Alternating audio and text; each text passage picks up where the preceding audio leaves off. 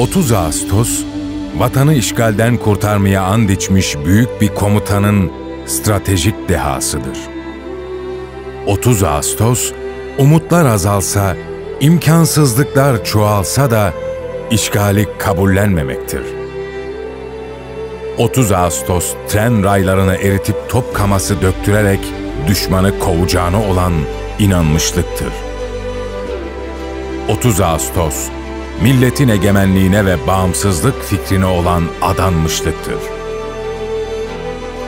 Tam 100 yıl önce kazandığımız zaferi yüzyıllar boyu yaşatacağız. 30 Ağustos Zafer Bayramımız kutlu olsun.